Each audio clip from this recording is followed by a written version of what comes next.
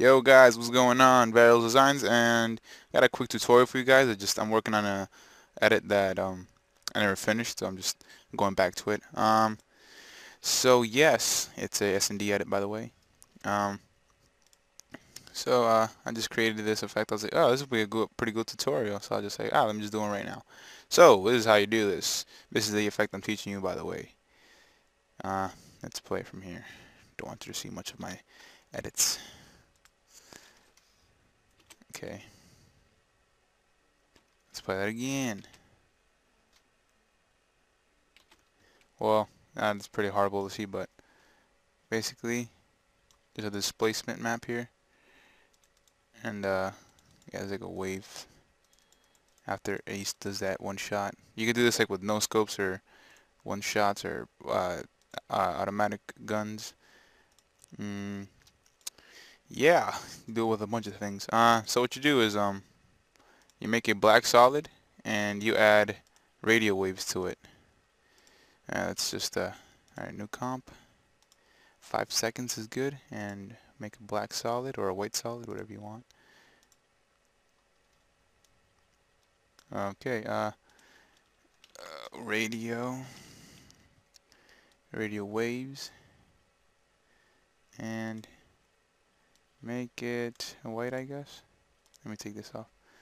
And you see them growing right there? And if you want if you want a single one all you do is just you put the frequency to zero and then if you want a couple you just add some frequency. And then see? Alright so right now we're doing a one-shot type of deal. Um you want to make it like thicker?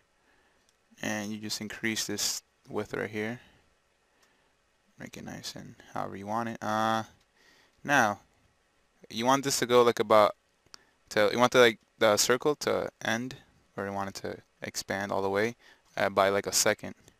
So you want to increase your expansion to well I have it at 40 right now for my clip.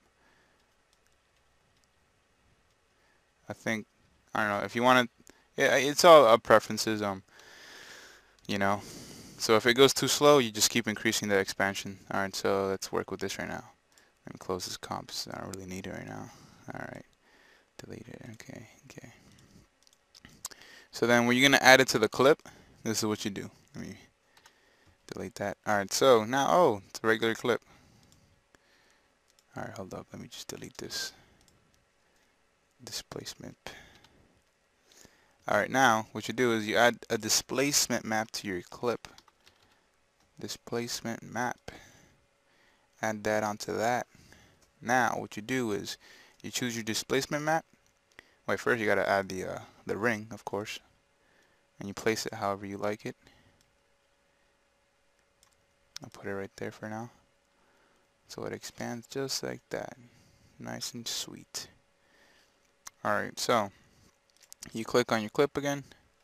Go to your effects. You scroll down to the effect and displacement. Click on that and then you choose the, the layer. So mine is comp 1 and uh, yeah you change I don't know you could change these to lightness. Uh, if you want and you can increase this if you want like to be able to see more of it.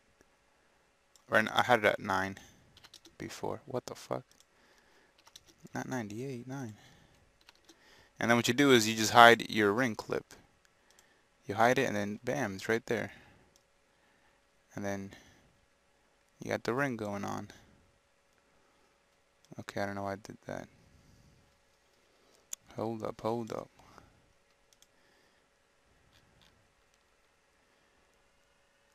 Oh, I also clicked on wrap pixel around, so. Yep. You gotta remember to check on, check on that or else it'll be all messed up. More pixels. Alright, cool. Um, yeah, that's basically it. Thanks for watching, guys. Peace.